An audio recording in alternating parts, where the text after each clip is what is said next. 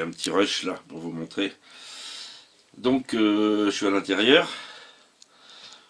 Hein, voilà le, cockpit là-bas. Alors euh, ici ben, vous avez les commandes, les compteurs et autres. Bon là il va falloir que je change tout ce plateau. Ensuite j'ai fait quelques petits montages. Donc euh, dans le meuble qui va se trouver ici, il y aura donc les toilettes. Donc elle loge allègrement dans le meuble. Et puis derrière, il y a un renfoncement quand même assez prononcé. Voilà. Donc je vais avoir le quoi loger euh, la réserve d'eau.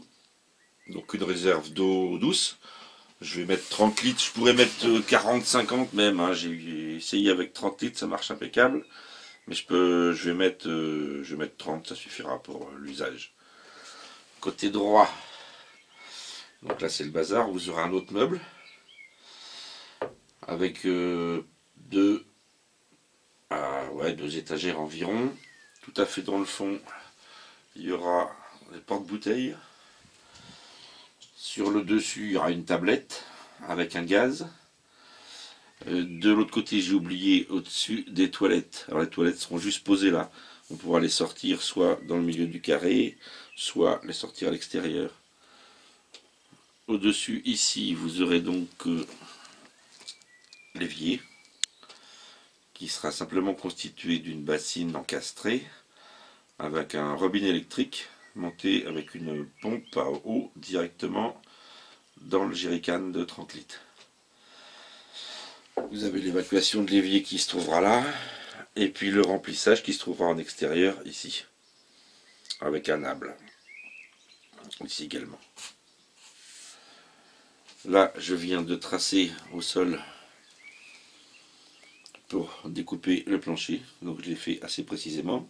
Sur la partie avant, j'ai supprimé le coffre euh, de la baie à mouillage pour la refaire à neuf et surtout fermer jusqu'en haut pour éviter que l'humidité de la baie à mouillage communique avec la cabine.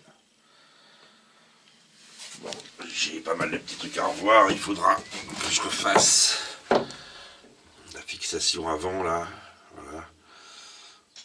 Le bois commence à pourrir aussi. Bon voilà, ben, le plancher est découpé. Alors j'ai fait un trou au niveau du pied de table. Et puis là, bon bah bonne nouvelle. Parce que la mousse n'est pas, est pas abîmée. Voilà. Donc c'était pourri au niveau du pied de table.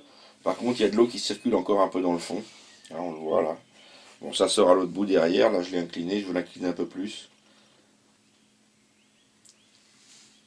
Et puis voilà. Ici, j'ai démonté totalement le hublot pour refaire les, les étanchéités. Alors c'est un bateau qui a dû, euh, qui a dû prendre l'eau énormément. Parce que vous voyez là il y a des trous. Ici ici aussi. Et alors je sais pas pourquoi il y a de la rouille qui suinte. Des parties métalliques sûrement à l'intérieur ou un renfort ou quelque chose dans les angles peut-être. Et là, on voit que ça a suinté. Mais bon, ça m'étonne pas du tout parce que ça prenait l'eau de partout. Euh, l'ancien propriétaire, s'il a changé les glaces, c'est que c'était pas belle. Et sûrement qu'il devait prendre l'eau.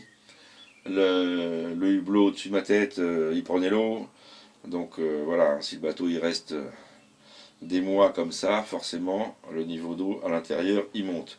En plus, j'ai trouvé des traces à l'intérieur euh, qui voudraient dire euh, derrière le, que le niveau il est monté, euh, je dirais, de 30 cm à l'intérieur du bateau. Voilà, donc ça m'étonne pas que tout soit trempé. Enfin là, ça a bien séché, puis ça continue. Donc là, je vais le mettre hors d'eau, et puis ce sera bon. Et puis on va continuer la suite. Après ça va être plutôt du ponçage. Tout l'intérieur. Voilà. Là, l'avant. J'ai commencé à poncer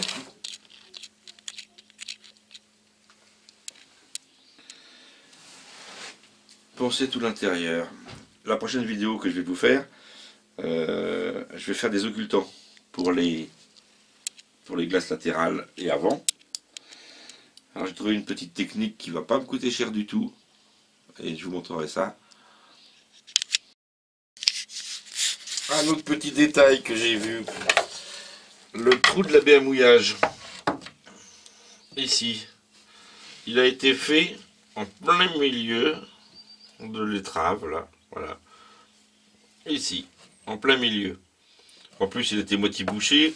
Il y avait un tas de merdouilles haut comme ça dans le fond. Le trou était trop petit. Donc ce trou-là, quand je vais refaire la fixation, là, ce trou-là, je vais le reboucher. Et il faut faire un trou, bien sûr, tout à fait en bas, dans le fond. Par ici, sur le côté. Et un trou un peu plus gros que ça. Voilà. Donc il faut faire un trou au ras du fond, ici. Et pas pile en face. Parce que pile en face, quand vous prenez une vague,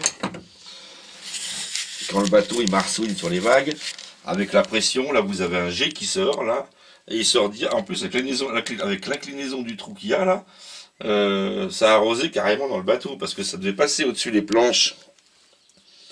C'est incliné pour euh, arroser direct à l'intérieur du bateau. Et quand vous allez vite et qu'il enfourne, je peux vous dire que le petit trou là, c'est c'est pas du haut de pression, mais ça pisse bien. Alors surtout, faut pas le faire au milieu, faut le faire sur le côté. Et bien au fond et pas trop petit, parce que autrement le sable et tout ça, ça s'évacue pas. Et puis pas trop gros non plus, autrement vous allez accumuler de l'eau dans, dans la baie mouillage devant. Euh, un autre petit truc, euh, la mousse, j'ai trouvé. Donc j'ai trouvé une mousse hydrophobe, à cellules fermées. La marque c'est Alpha. Euh, ils font ça sur commande, on peut l'avoir en pot, en bicomposant, ou alors en bombe, en bicomposant aussi. Elle existe aussi en monocomposant, il y a des, ils ont pas mal de, produits. Alors c'est des bombes de 400 ml je crois, ou un peu plus, je sais plus, qui, une fois vidées, à l'air libre, font entre 12 et 14 litres de mousse. Vous avez des mousses dans la même marque euh, qui développent jusqu'à 45 litres, mais qui sont plus poreuses à l'eau. Donc euh, j'ai pris euh, uniquement de la... C'est-à-dire qu'elle pompe moins de 0,5% de son volume. Quasiment même rien. En fait, c'est vraiment une mousse flottante imputrescible. C'est une mousse qui doit être verte, si mes souvenirs sont bons. Et c'est de la mousse qui est utilisée pour faire l'étanchéité des fenêtres, en fait. Voilà. Alors le prix est correct, c'est 4, 4 euros la bombe. Donc euh, bon j'en ai pour euh, ai pour une centaine d'euros à peu près à faire tout le bateau. Mais euh, c'est vraiment correct au niveau du prix. Voilà. Puis en plus il y a des prix par quantité. Il faut un produit aussi spécial nautique qui comble des gros vides. Pareil, 45-50 litres la bombe. Pour combler des gros trous. Mais c'est beaucoup plus poreux pour les, les Lexans. Donc les, glaces latérales, là, euh, vous verrez ce que je vais faire, mais j'ai besoin de refaire une séparation au milieu pour mes occultants. Donc je vais repeindre euh, une partie du Lexan. Sachez qu'il pour le Lexan, il existe des peintures spécifiques en bombe. C'est des peintures qui sont pour le modélisme pour peindre les carrosseries de, voitures radiocommandées. Les carrosseries sont translucides euh, à l'achat et elles sont en lexan. Il existe des peintures spéciales. Autrement, ça ne tient pas. Il existe deux marques principalement. Je les ai plus en tête, je vous les mettrai dans les commentaires, les deux marques, euh, ou principalement une. Euh, sur une petite bombe de 100 ml, mais pour ce que j'ai à faire, ça ira très bien.